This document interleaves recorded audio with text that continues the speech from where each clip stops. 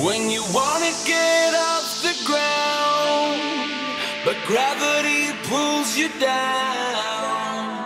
Gravity pulls you down.